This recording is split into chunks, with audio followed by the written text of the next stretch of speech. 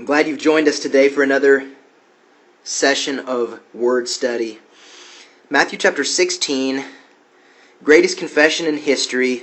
You are the Christ, said to Jesus.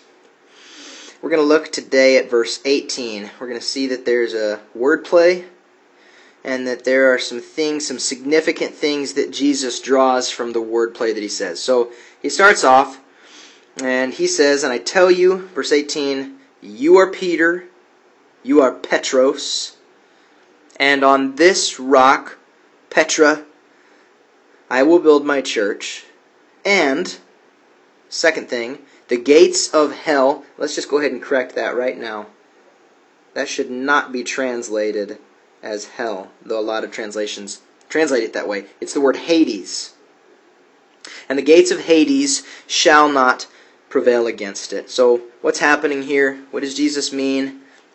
Well, first of all, we should know that these two words here, Petros and Petra, this word play, they look similar, they mean something similar, they sound similar, but they do have different meanings. The word Petros does mean rock, but it's more the kind of rock that you can pick up and hold in your hand. In the Iliad, written by Homer, he spoke about some soldiers picking up Petros and launching those at the enemy.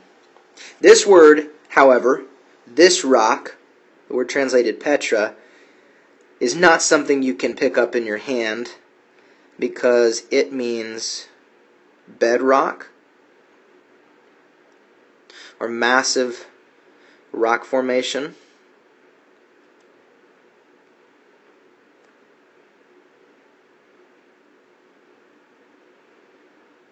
All right. So, what what is going on here? What does Jesus mean when he speaks of this rock and and he's going to build his church on it and the gates of Hades are not going to prevail against it? Well, some have determined that Jesus means to say that he's going to build his church on top of Peter. But that, besides the fact that Peter is just a Petros, he's just a stone, that just doesn't make sense with anything that the rest of the Bible, neither Peter nor Paul, nor Jude, nor James, nor any of the rest of the individuals who wrote in the Bible would say that Peter was some kind of singular foundation. So Jesus has to mean something else. And whatever he does mean, by this Petra is it's it has to be immediately in view. It has to be in the context because he uses the word this. So this rock on this Petra. And we should be picturing when we picture a Petra, we should be picturing like one of the layers of the Grand Canyon. So you could build on top of a Petra. You can't build on top of a Petros. So what is it that Jesus is going to build his church on? Well, the only thing immediately in view that could be understood as the meaning is what Peter had said right up here. Just the truth of this idea. You are the Christ. And the reason I say that is because it, that statement or that understanding was not revealed by mankind or by flesh and blood, but it was re- revealed by the Father who is in heaven. So to say, so the Father revealed this understanding to Peter that Jesus was the Christ. Now, Christ means king. All right? And there is at hand, at this point when Jesus is speaking, the kingdom of heaven. The kingdom of heaven has, has, has come to the world, and, and Jesus was establishing the kingdom, and, and Jesus was going to be the king of that kingdom. And so when, when Jesus is talking about I will build my church. This church here, these are the same people that belong to the kingdom. So, what's he saying? Well, let me write this out here. Concerning this rock or this Petra, he says two things. He says, number one, I will build my church on it. So, on this rock, see this, on this rock, I will build my church. So, number one, concerning this Petra, he's going to build his church. All right? And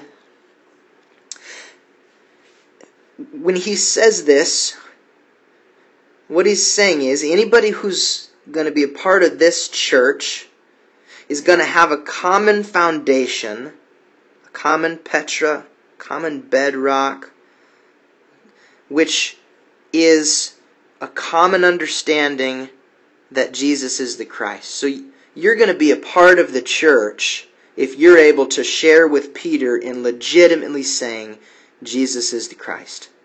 He's going to build his church on that understanding. That's going to be the foundation of anything that anybody who follows Jesus has. They, they have to be able to say Jesus is the Christ. And then, secondly, he says, and the gates of Hades shall not prevail against it. What does he mean by that? Well, this, when he says the gates of Hades shall not prevail against it, is, is he saying the gates of Hades will not prevail against the church? Or is he saying the gates of Hades will not prevail against this rock, which is the statement that you are the Christ? Well, the, the Greek would allow us to say either one of those. If you look at the original language, it, it doesn't have any preference either way. So we have to use some of our thinking and a little bit of exegesis to determine. And I'm going to say that when he says that the gates of Hades shall not prevail against it, he, he's saying the gates of Hades shall not prevail against this rock, which we've determined to be the truth that Jesus is a Christ. So he's saying the gates of Hades will not overpower the reality that I am the Christ. And here's why I say that. Because just a couple verses down, in verse 21, it says, From that time, from the time where he'd been saying all of that, Jesus began to show his disciples that he must go to Jerusalem and suffer many things from the elders and chief priests and scribes and be killed. Well, when you're killed, you go to Hades. Well, that's going to be a shock to the disciples' systems because who's being killed here? Jesus, who is the Christ, which means king. Jesus is the king of the kingdom of heaven. And he's going to be killed.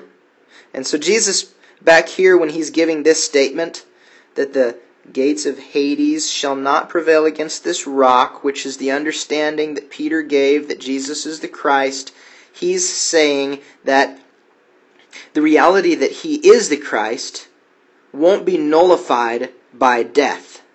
Reason being, I'm going to raise up on the third day.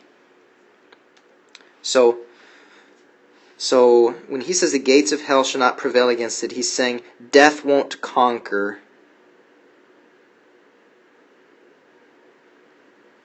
Death won't conquer kingship.